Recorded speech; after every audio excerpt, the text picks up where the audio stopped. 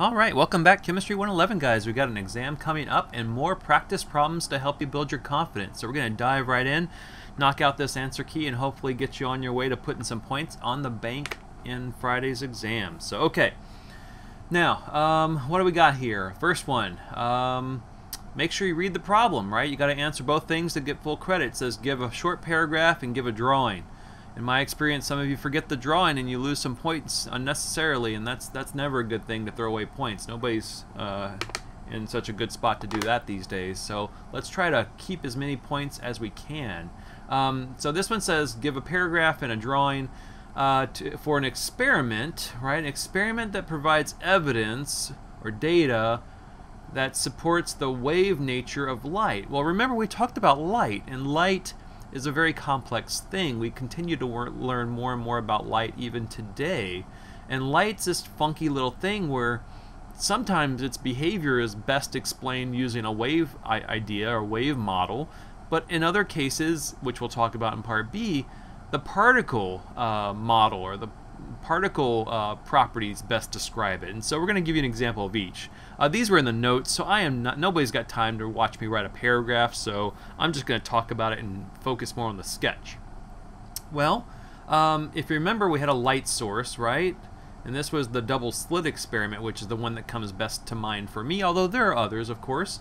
And if you have a light source, right, and it can it can put out, if we're thinking about it in terms of waves, right, which in this case we are, we're going to put it out and we're going to collide it into something that has two slits. And these slits have to be uh, well ordered, you know, very precise, and they have to be really small, like on the order of the wave wavelength of light, right? And if you do that, uh, due to some awesome physics, each slit will end up acting as if it were a point source. And so it's going to propagate waves from each of these slits. And we talked about in class, right? in the areas where these uh, waves overlap in a constructive way, you see here I'm getting these troughs are going to overlap with troughs and peaks are going to overlap with peaks, right? And that, if we have a screen, that's going to give us a very, very bright spot, a very bright spot. And then this will happen in various little patterns here. And you can find your notes and find a much better picture than my terrible drawing, but you're going to end up having these constructive areas of interference, which make bright spots. And then you're going to have areas in between them where it's very, very dark, and that comes from the deconstructive, where the peaks don't line up with peaks anymore. The peaks line up with troughs, and they kind of cancel each other out a little bit. That's destructive interference, and you get dark spots. So this this pattern, which can be explained using physics, is really nice because it kind of gives us a good piece of experimental data to show that light does, in many cases, um, offer um, behavior that is best explained using a wave model of of our theory. And so that's that's really important. So that's the double slit experiment very very famous. The other one is also very famous. It was in your book and it, it's this this is the one where we talk about the particle nature of light.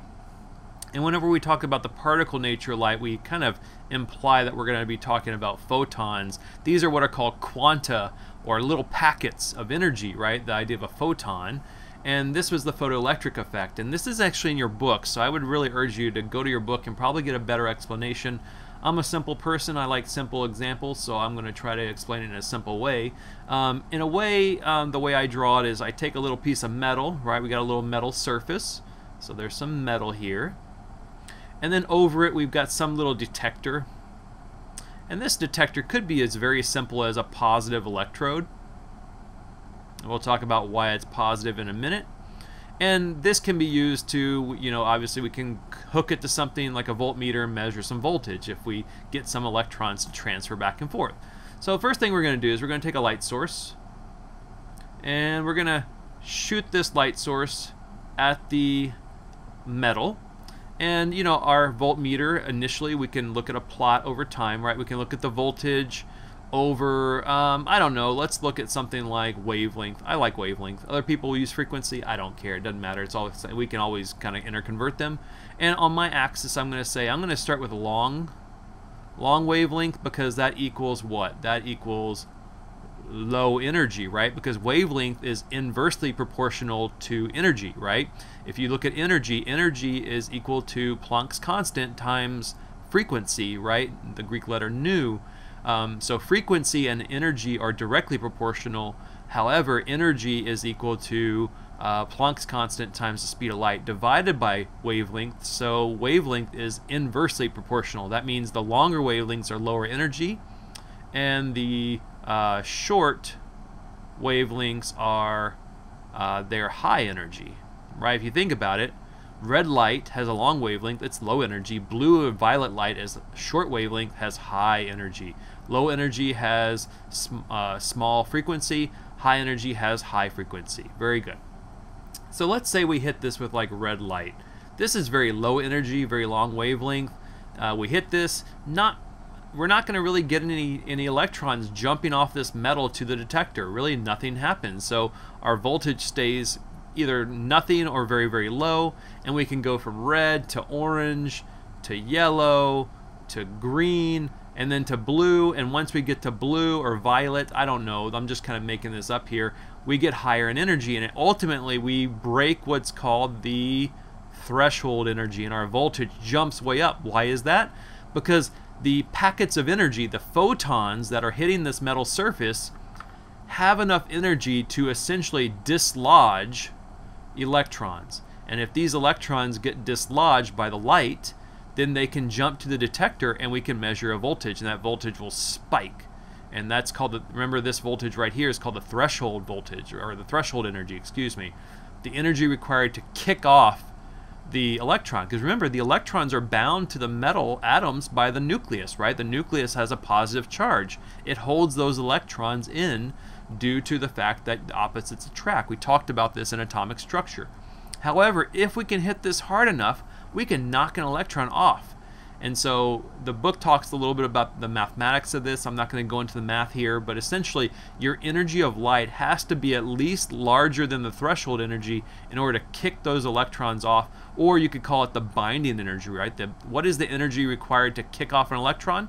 That's called the binding energy, right? That's really important. So anyway, this is a really good example of the particle nature of light being best um, used to explain the phenomenon of the photoelectric effect. So make sure you go back to your book and, and review that. It's also in your notes. Okay, this next one is really easy. Again, you don't have to memorize all the wavelengths, but you should know the general regions of the electromagnetic spectrum. If you look at these, we're looking at increasing frequency, which means we're looking at increasing energy, because energy and frequency, like I just talked about, are directly proportional. So in this case, which of these has the highest energy? We want to put a 3 for our highest. X-rays by far are the most dangerous because they have the highest energy.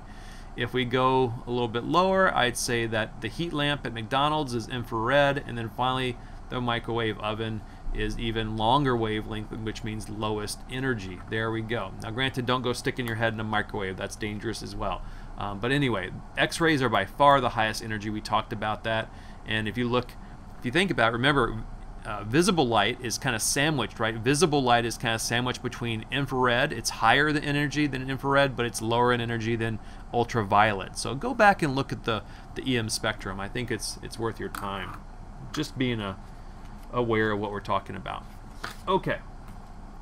This next one, this is a good problem because I think some of you get a little bit concerned about the mathematical problems because even though I give you the equations, sometimes I, I worry that in the heat of the moment in the exam you build up a little bit of anxiety and if you're not confident using these equations you might make mistakes that can lead to loss of points when you really don't want that to happen. So okay, this first one gives us two transitions. We've got an electron falling from n equals 5 energy level to n equals 1 within an atom. When electrons fall down, they're going to emit electron. That's a pretty big gap, right? The delta E from 5 to 1 is pretty big. That's going to translate to a photon with a lot of energy. Because as the electron falls from a high energy to a low energy, it has to release in a photon that gives that much of an energy emit that that much energy is emitted in that photon. However, 4 to 2 Granted, that's still a relaxation, the electron's falling, but 4 to 2 is nowhere near as large as 5 to 1. And if you need to prove it to yourself, go look at your reading, go look at your notes. You can see a diagram of the energy levels. 5 to 1 is a much bigger delta E. So this one has the biggest delta E. And question A asks you which one emits the highest energy. Well, that relates to the highest delta E. So that's going to be N equals 5 falling all the way down to n equals 1. No question about that. That is an easy question. What gets a little bit more difficult is then calculating. And so this one says, forget the first problem, but I just want you to calculate if an electron falls from n equals 4 to n equals 2, it's going to emit a photon. I want you to calculate the energy of that individual photon in joules. Well, that's really easy. We just use the equation from the notes where we're going to look at E. Actually, we're going to look at the delta E, the change in energy as that electron falls. And it's going to be equal to the Rydberg constant, right, which is 2.178 times 10 to the negative 18 joules, right? There's our unit joules there. And then we have to figure out where did it fall from and where did it fall to. Well, it fell to n equals 2, so that's 2 squared. Don't forget the squared, that's really important. Um, really important. Don't forget that. And where did it start? It started at 4 squared. And then there we go. So you take the final minus the initial squared. Now this this parenthetical has no units, so that means this whole thing is going to be in joules. And since we're doing it for an individual photon, technically it's going to be joules per photon, but make sure you watch your units. And if you crank that out, this should be a small number, which it is, and I get 4.084 because we had 4 sig figs in the constant times 10 to the negative 19 joules. That should be a small number. If you want to, you can put joules for photon, but it already said individual photon, so we're really only worried about joules. Now you might say, wait a minute, what about 2 and 4? Well, n equals 2 and n equals 4, those are integers. Those are definite numbers. So those numbers have infinite sig figs. You don't worry about that. So there you go. However, this is a constant. It's measured to a certain number of decimal places. In this case, I gave you 4 sig figs in the constant, so you get 4 sig figs in your answer. All right, so this next one says, okay, um, we want to calculate then not joules per photon, but we want to calculate kilojoules for a whole mole of photons. So that's going to be a big number because a mole of anything is Avogadro's number. So we do that. We just, this is simple. This is like a, a unit conversion. So we say 4.084 times 10 to the negative 19 joules per individual photon. And then you can say, okay, well, I want to convert from joules to kilojoules. Well, that's easy.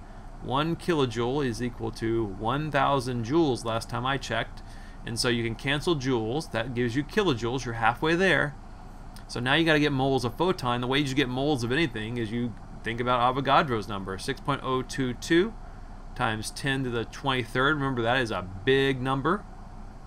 In fact, happy Mole Day to you on Friday. I'll be celebrating Mole Day at 6.02 p.m. on October the 10th month of 23rd day of the 10th month, Avogadro's number day, so that's kind of fun. I know I have no life. Thank you very much. Thanks for reminding me of that um, and then per mole of photons. And there you go. So now we've canceled individual photons, and we're now with moles of photons, kilojoules per mole, and that is a big number. That's like 245. I'll do 4 sig figs. Yeah, I can do 4 sig figs. Uh, kilojoules per mole of photons. That is a big old whopping number. But it makes sense. You got a mole of anything, that's going to be pretty substantial.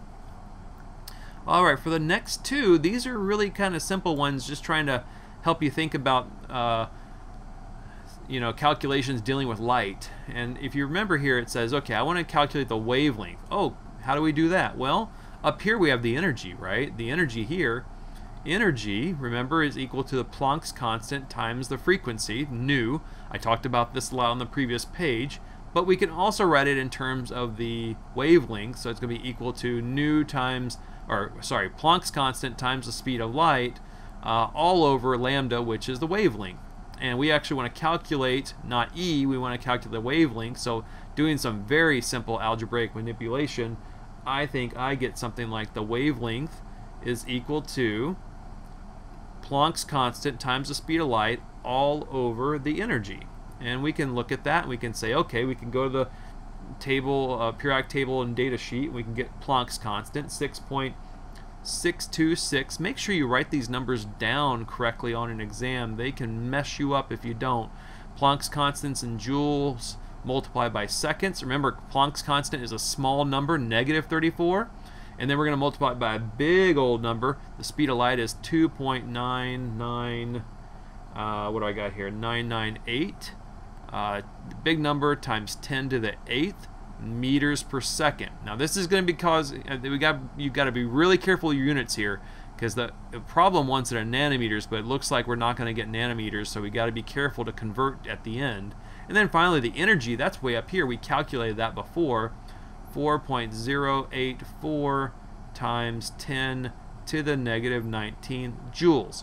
Now look at this, the joules will cancel, the seconds will cancel, and we're only left with meters. That means our equation is right because wavelength is going to be in meters, and we get 4 point, I got 4.864 times 10 to the negative seventh meters. Now that makes sense, right? A meter is pretty big and light's really small.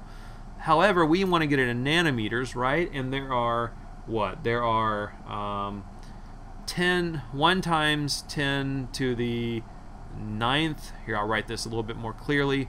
1 times 10 to the ninth nanometers for every meter. It's really no different than millimeters or centimeters. Nano is just really, really small, so there's a lot of them.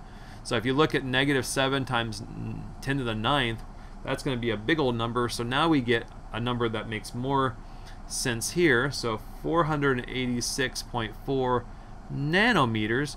And to me, that makes sense because that's about, oh, that's kind of like blue-green light. So that that's good. We're in the right ballpark.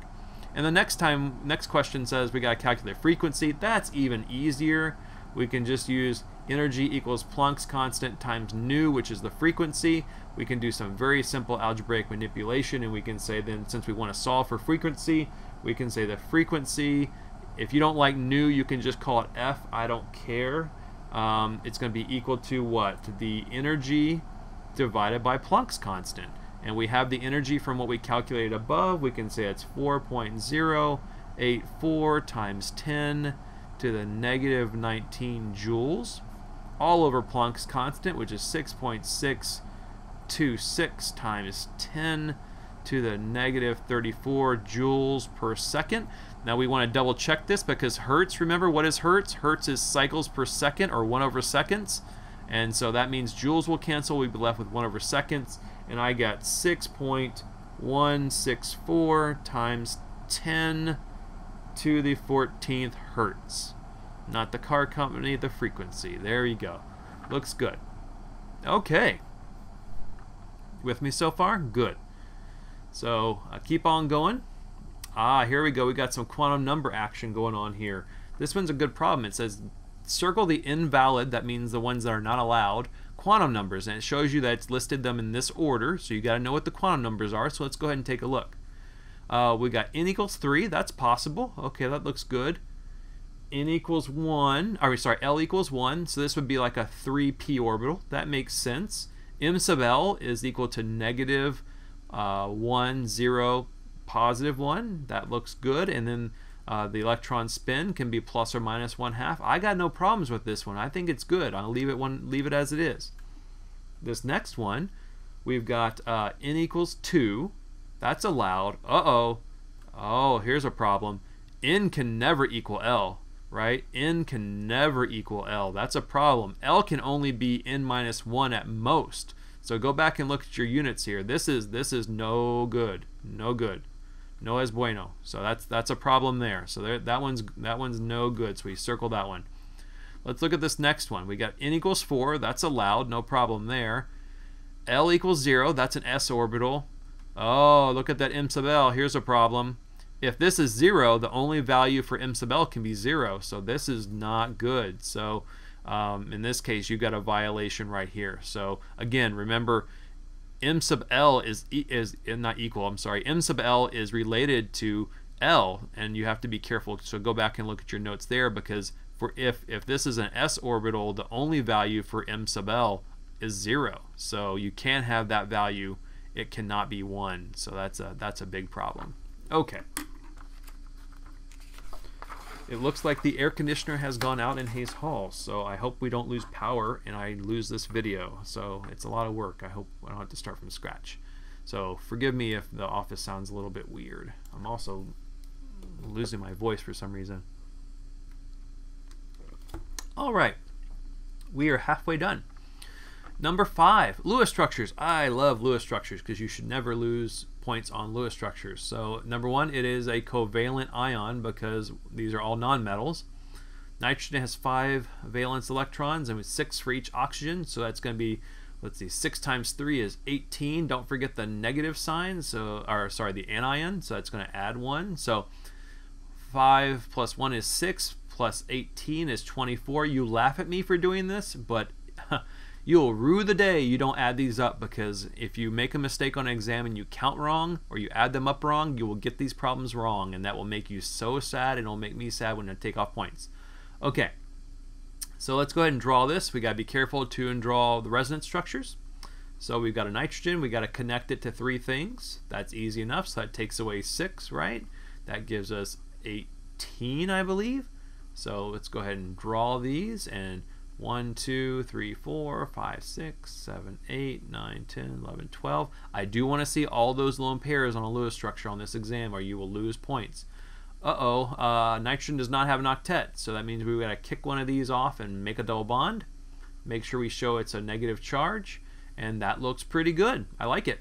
We need to draw a resonance structure, but since we drew the double bond here, we could have just as easily drawn it into any one of these two down here. So we will draw a resonance structure by drawing the atoms exactly where they are.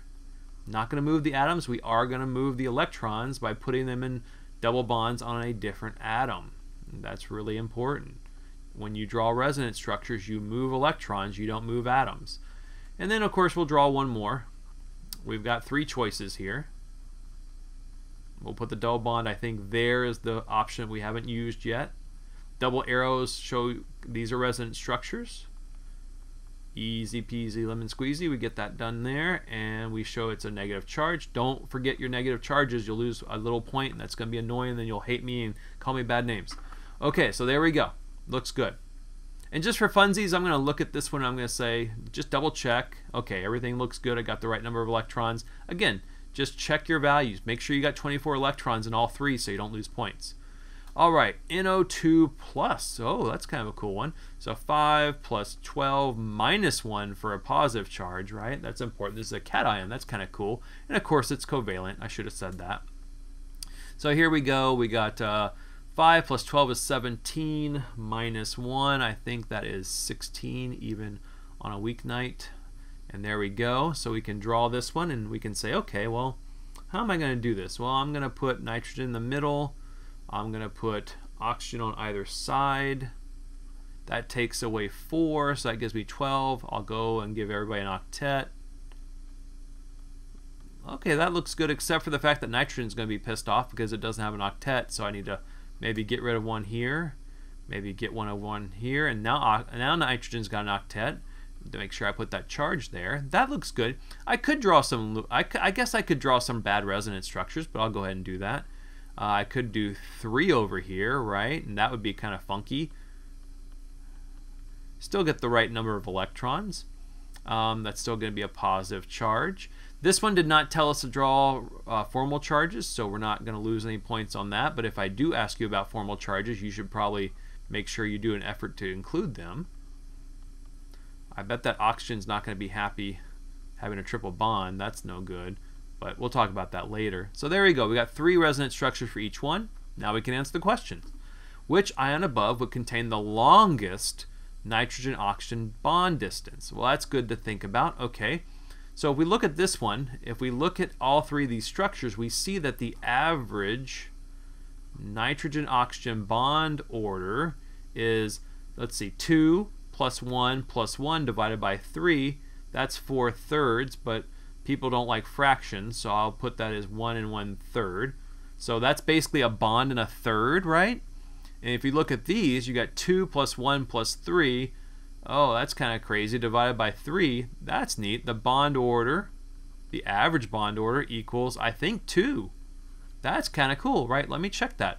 2 plus 1 is 3, plus 3 more is 6, divided by 3 is 2. Okay, so that's a, the average bond order is a, a double bond. Now, you could get really, I would be really impressed if you put your critical thinking hat on here and you say, well, wait a minute. On the nitrate, they're all equivalent structures. There's no good or bad Lewis structure. They're all the same. They're all equivalent, so I just take the average. If you're this one, I would probably say, in my you know, if I kind of look at this, I say the nitrogen's got a positive there, each of the oxygens zero. That's pretty good. I know you don't have to do this, but it's a nice critical thinking. A single bond oxygen is a negative. Um, let's see what I got here. Uh, the nitrogen is a positive. Oxygen with three bonds, oh my goodness, that's going to be positive. That is not, that an oxygen's not going to be happy. Same thing down here, it's same thing, positive, positive, negative. I'd say these two are kind of crappy Lewis structures, and that is a scientific term, kind of crappy. It might be an SI unit. You'll have to look it up. It's worth a Google. Um, you know, if you look at these, I'd say I'd say this is pretty much the the best Lewis structure. So I'd probably say it's going to be closest to two, which is kind of what we got just by sheer luck anyway. Um, so if you think of it, the longest one is going to be the lowest bond order, right? Because a double bond is shorter, right? Double bonds are shorter than a bond and a third. So I'm going to say the longest bond would be NO3 because it has the lowest bond order. And that's important there. Now the next one said which bond would contain the strongest one? Well, that's different. That's the opposite. That would be NO2 plus because it has the highest, right? Highest bond order. Double bonds right? Double bonds are stronger than single bonds or bond and a third, right? So there you go. That's not so hard. Good Lewis structure drawing, good resonance there. This next one says define effective nuclear charge. Well, remember the nucleus of an atom, the number of protons, the number of protons is equal to Z. That's the nuclear charge, right? That's the nuclear charge.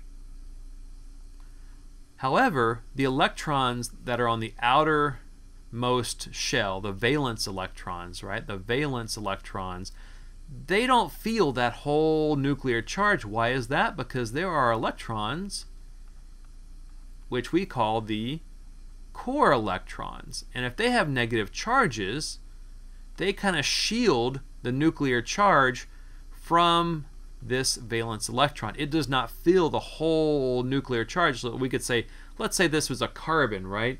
Carbon's nuclear charge is probably 6 because it has 6 protons, so we can say it's a plus 6. Does this, you know, valence electron in the 2p feel a plus 6? No, it's not going to feel the whole thing because these other electrons are going to be blocking it, right? They shield the nucle they shield the nucleus from or sorry, they shield the valence electron from feeling the whole uh, charge of the of the protons in the nucleus. So that's shielding, and basically what we're gonna feel is the electron's gonna feel not the nuclear charge, but it's gonna feel the effective nuclear charge. Basically, it's the uh, nuclear charge minus some factor due to shielding, and that is going to equal to the effective nuclear charge. And so again, the Z effective is always going to be lower than the nuclear charge by itself. This is again in the notes in the book, so make sure for a broader discussion you look there. And then the final thing it says, explain why it is responsible for the decrease in atomic radius as you travel from left to right across a row. And this is really important. We're talking about a row. So if you look at the second row of the periodic table, right, and as you go across from like, I don't know, boron to fluorine, right, it gets smaller the radii get smaller, and that's because what's happening here? You're increasing the nuclear charge every time you add a proton to become a new element. I hope that's important. So your nuclear charge is going up. Now you might think, well, wait a minute, aren't you also adding an electron? So wouldn't that kind of cancel the effect out? Well, no, because it's important where you're adding that electron. If you're talking about the valence shell, if you're in row 2 and you're adding electrons to the 2s or the 2p, you're not adding those as core, you're adding those to the valence shell. And electrons that are out here do not shield each other because they're not part of the core. Only, repeat, only core electrons contribute to shielding. So if you're not shielding very much and you're adding, you're dumping protons into the nucleus, that valence electron is going to feel that charge and it's going to be pulled ever so tightly closer to the nucleus, which is why it makes the overall atomic radii smaller as you go from left to right across the periodic table. We talked about that in class. It's also in your book. All right, number seven. This is just straight up electron configuration love. There's not a whole lot to this, so you got to either know it or you don't. So zinc is a transition metal, and most of the time on um, exams like this, I will make you write the entire electron configuration because I have half a soul. And so here we go. 1s2, 2s2, 2p6. And what I usually do there is I stop and say I have 10. And then I go to, uh, you know, you should probably check though. Make sure your zinc is what? Neutral zinc is 30 electrons. It's worth a check. So there's 30. I mean, there's 30. I got 10. I got to go 20 more. And I'll say, okay, well now I'm going to go to the next one, which is 3s2, 3p6. And so that gets me to 18, right? And then you say, okay, well, I got a ways to go still. So now I jump up to the 4s2, that gets me to 20. And then to get 10 more, I can rely on my friends in the d orbitals here, and that gets me to 30. Boom. There we go. That is the electron configuration for stable zinc. And it says, is zinc paramagnetic or diamagnetic? Well, if you look at all of these orbitals, or all these subshells, they are completely filled. If they are completely filled, that means all of the electrons are paired up. If every single electron is paired up, that means it is diamagnetic, and that's really important. Paramagnetic, it only takes one electron not to have a partner to make it paramagnetic. It's really easy. It's one or the other, no in between. The last one, or this next one says, uh, give the correct electron configuration for the plus 2 version, the cation version of this electron configuration. Well, it's going to be exactly the same until you get to the valence shell because the valence shell is where you mess with chemistry and bonding and charges and cation and anion formation. So we're going to go ahead and write that. And if we stop here, right, that's basically the same as argon. So that's where our abbreviation would come if I let you use it, which I probably won't. Now I'm going to go ahead and write the whole thing first. Now I've got 4s 2 3d10. These are my valence, right? And so, okay, what am I going to do? Do I take it from the 4s or do I take it from the 3d? Remember, if you're going to remove electrons, you take it from the highest n value first. Repeat, if you're going to remove electrons, you take it from the highest n value, which means you will get rid of these two electrons to make it a 2 plus, which means your new electron configuration is 1s2, 2s2, 2p6, 3s2, 3p6, and 3d10. You do not touch the 3d10 until you remove all the 4s's and then if you say for some stupid reason we're going to go to zinc 3 plus, then we would remove one from the 3D, but not until you're all done with the 4S. The 4S is always the first one to go. Do not forget that. Finally, last question. Which one is larger, neutral or cation? Well, didn't we, re we removed this whole shell. If you remove a shell, you're going to get smaller. And that means then that the neutral zinc is the larger one because if you remove a whole 4s shell because you remove the electrons in them, the, the radius goes down Cations, as a general rule, are always smaller than their neutral parent. The opposite is true for anions because you're going to shove more electrons in there and they got to spread out because they all got negative charges. They want to repel each other. So that's really important. Again, this is all in the notes. I hope this is really kind of clarifying things that you're probably already aware of, but you know, this is really important to practice. Last page, last page. We're almost done. Thanks for sticking with me here. This one is a one where you really got to read here. Um, Lewis structure. Let's do that first. I always mark these off on an exam. Make sure you do them step by step. So this is covalent, right? And we'll say we got ooh eight for xenon. That's kind of cool. Four times seven is 28, which gives us 34 electrons. That is a lot. And we're going to draw the Lewis structure right. We're going to say, okay, I'm going to make my xenon my first one, and I've got four. One, two, three, four. And I'm going to have to bond these fluorines this way. And I'm going to say that's 8, right? So minus 8. And that's going to give me, what is that going to give me? That's going to give me 26 left. and I go around the horn, give everybody on the outside an octet, because that's what we do. That's how we do it. Okay. Now we had, what did I do? 6 times 4, it's 26. Okay, so 24. I got two left. Where are they going to go?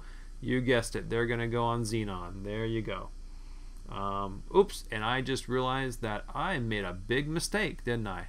Ah, I bet you're all pulling your hair out and say, hey, Porter's getting old. He doesn't know what he's doing. It's, it's almost 11 o'clock at night. He should be in bed. And sure enough, I should, because guess what? 8 plus 28 is not 34. Porter, you're an idiot. It's 36. 36.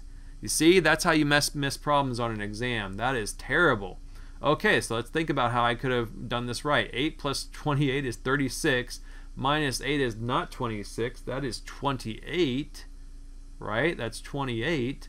Minus 24 is not 2. That's 4, which means we have two lone pairs. There you go. Almost like I planned it. There we go. So now you see we actually have a lot of stuff around this xenon. Are we worried? No, we're not worried because xenon is a big old atom. It can take more than the octet and it can be perfectly happy, perfectly energetically stable. So that is number one. Boom. Are there any non-zero formal charges? Fluorine is 7 minus 6 minus 1. That's perfectly happy. Xenon is 8 minus 4 minus 4. There are no non-zero formal charges. If you can't do formal charge, you need to make sure you can do it. Go back and review. Now we've got 1, 2, 3, 4, 5, 6 EDRs. Or the steric number is 6. If that's the case, we can draw this as an octahedral, right? And I, the way I draw an octahedral may be a little bit different than the book does it because I am lazy. I like to work smart, not hard. I'm going to draw the four fluorines in the plane of the paper. And then I'm going to put something behind the plane, which I'll just put that non-bonding pair back there. And I'll put one in front of the paper. Everything's 90 degrees. That is an octahedral. Oh, wait a minute. Uh-huh. There you go. 6 EDR is what? Octahedral EDR geometry, right? That's really important. That's EDR geometry. We want, and this is really important, you want the molecular geometry.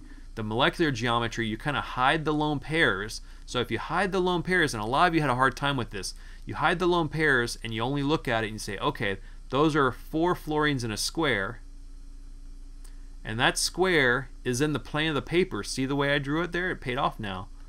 Planar. That's really important. This was in one of the in-class activities, so there you go. So there we go. We got both draw and name it. Good deal. Any deviations from ideal? In this case, no. These are all going to be 90 degrees, just like a normal octahedron, right? We could sit there and say that.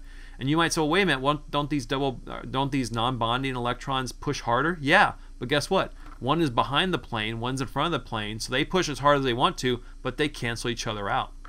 So no deviation. So we say no deviation for bond angles. And then the last one, label each as polar, nonpolar. Okay, well, fluorine is really, really electronegative. And so we can say, okay, well, and I know xenon's kind of tough. You know, that's a tough one for the uh, the table. It's really not shown, but you pretty much know fluorine is really electronegative. Even if there was a polarity difference here, guess what? They all cancel because this is perfectly symmetrical. So this would be nonpolar. Doesn't really matter. There we go. A lot of stuff there. Make sure we did everything that was asked and we're good there. Um, so in this case, I mean, just some of you had a question like, what are you talking about? Well, if if these four bonds had been polar, you know, you, you could say, okay, let's say the you said fluorine's the most electronegative, right? We're not going to get into electro electronegativity of noble gas right now. I don't I don't have the time to do that. Um, but for right now, we'll just say if there was polarity here, it would be offset because the polarity of this one's directly opposite of it. Same for these two. So even if there was some polarity, it would cancel it out, and there's no polarity net. No, there's no net polarity for the molecule. There we go. Okay, so this next one. We've got sulfur, which is 6 plus 21. It's an anion, so plus one more. So it's 22 plus 6. This time I hopefully can count correctly, which is 28. Look at that. And we're going to say, okay, Lewis structure first. We're going to have the three fluorines. Minus 6. That gives us a good old 22. Go around the horn here, give everybody an octet. Everybody needs an octet. Everybody deserves an octet to be happy. There we go. Minus 20, or sorry, minus 18, excuse me. And then uh, what does that do here? Oh, goodness me. Look at that mess. What do we got here? Make sure we calculate that right. 28 minus 6 is 22 minus 18. That's 1, 2. That is, that is 4 electrons. Look at that. So 4 electrons, which is, in my book, 2 lone pairs on the sulfur. You might be freaked out, but guess what? Sulfur does not give to three Fs about this because it is another big atom that does not care about breaking the octet rule. Going big is fine for sulfur. However, we do need to make sure we write that this is an anion, and we probably do need to label all non-zero formal charges. F's uh, are 7 minus 6 minus 1, that is 0. Sulfur is 6 minus 4 minus 3. There we go, we found the negative charge. You knew there had to be 1 because this whole thing is negative 1. And then we can say what? We got, uh, there are what? One, two, three, four. There are five EDRs, right? Which means the EDR geometry, you don't have to write this, but the EDR geometry is something cool to keep track of. That is going to be our trigonal bipyramidal, right? And we can draw that. And we can say sulfur in the middle. We can say that we've got one back there, one back there, and one even. Uh, our lone pairs always go in the equatorial position. That's really important whenever you have this case, right? Because you have axial and equatorial. And then we put the atoms in the axial and then the one equatorial that's left over. We'll still go ahead and draw that anion. And if you look at this and we don't look at the um, lone pairs, the molecular geometry is simply Mr. T-shaped, right? There we go, T-shaped, because it looks like a letter T. And here we can say what? We Are there going to be deviations? Well, you would expect this angle to be 90, but I promise you these lone pairs are going to push a little bit harder, and this bond angle is actually going to be what? It is going to be uh, less than 90. So yes, there are deviations due to the lone pairs. And then finally, is it polar? Yeah, I think so, because the fluorine is here. It's going to be more electronegative than sulfur, so it's going to be pulling away from the sulfur. If you want to draw the bond dipole, it looks kind of like that, kind of like that. And then these two will cancel each other out, just kind of like we talked about over there. But this one has nothing against it, so we're going to say, yeah, this bond is polar, so yeah, this is a polar molecule because there's nothing to balance this one out. Yeah, you can make some arguments about the lone pairs, but we're not going to do that right now. We're going to say that if you just look at the bonding disparities, the polar bonds, these two cancel each other out. However, this one definitely points in a net direction, so the overall direction of the polarity of this molecule is al along this sulfur-fluorine bond, I believe. There we go. That's a lot. The last thing we have here is another sketch question. It says, okay, draw the following bonds formed from two sp2 hybridized carbons. This is really important. Remember, if you have sp2, that's because you took a s plus a P plus another P. And when you get those together, you get three sp2 hybrid orbitals, right? You go from atomic orbitals to hybrids, and that's really important. And if you think about sp2, what's the bond angle you get from sp2? Sp2 gives you 120 degrees, and it looks like this. 120 degrees. That's really important. However, in this case, we don't really care about the overall molecular geometry. We just want some simple examples. So a sigma bond formed between two carbons with sp3 are going to have two of these. So let's go ahead and draw just one lobe. I'll just pick one. And I'll say, okay, I'm going to draw this one and an sp, right? This is an sp2 orbital because we're adding all these together. And we have another sp2 orbital. There we go and each of these has one electron in it so the overlap is right there and if you think about it right the nucleus would be right here so this would be carbon this would be carbon right here so right that's the nucleus there's a nucleus right there and then the bond so here's our nucleus here's our nucleus is right between the two that is a sigma bond a sigma bond is denoted or demonstrated by the fact that you have overlap between the nuclei that you're talking about that are being bound together through this chemical bond. Really important. The pi bond, on the other hand, is a little bit different. Notice here that we had sp2.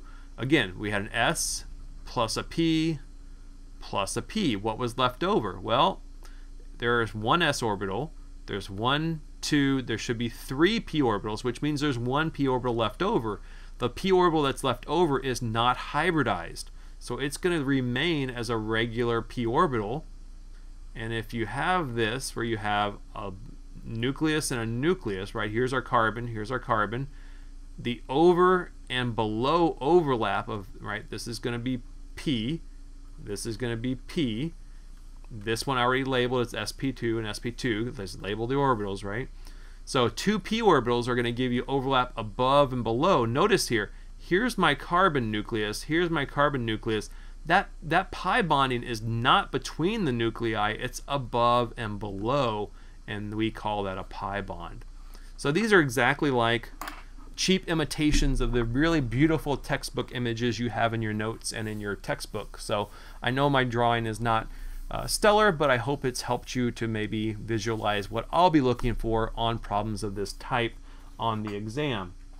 I've also tried to highlight places where people make very common mistakes so you don't do the same thing.